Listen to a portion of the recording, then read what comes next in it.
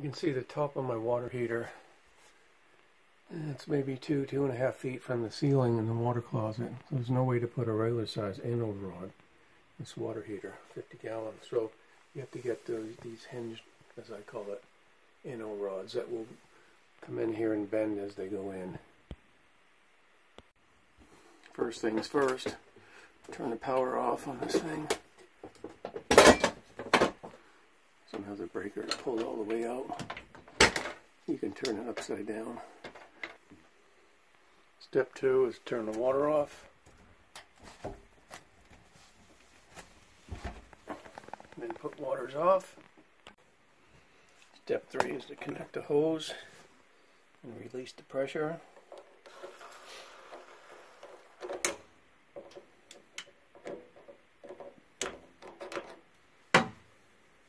Okay. Step five is to release the pressure on the top of the tank. Okay. Now the water is not going to come shooting out. Now on top of tanks, this is an electric tank that have anode rod replacements, you're going to see some kind of cap. And the first time you try to find anode rod top, you pull the cap off and you dig down. There, you can see the nut head. I've had them half inch an inch.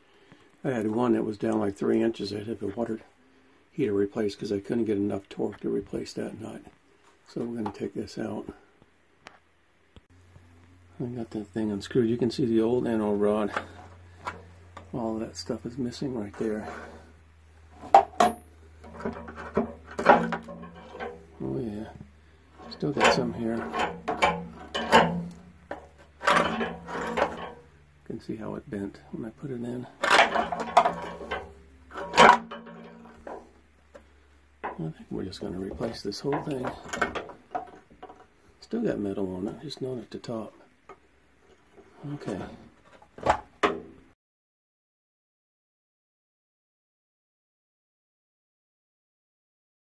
Okay, you can see get the old one out and put the new one in.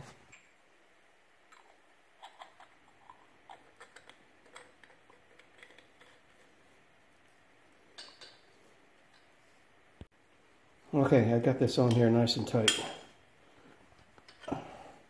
Let's go put it in, screw it on.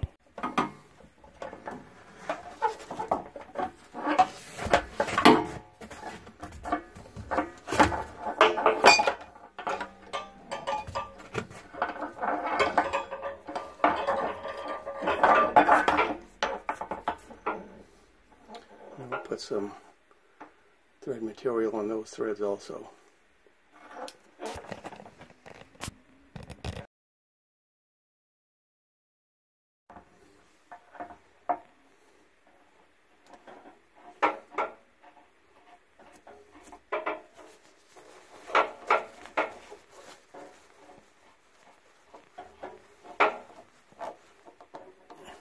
Okay, tight fit. Let's tighten it up with a wrench. I'm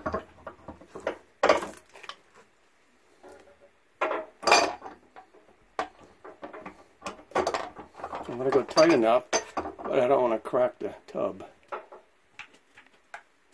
Oh, should be good. We'll do a test, leak test. Okay, we'll turn the pressure relief off. We'll leave the power off. We'll turn the water on.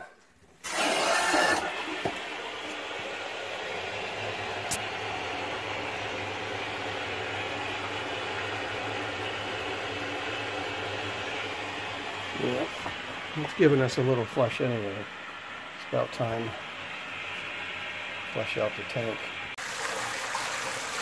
Side job is to just do a quick flush.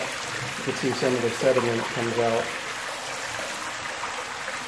That's not bad for a year and a half. The rental rods help.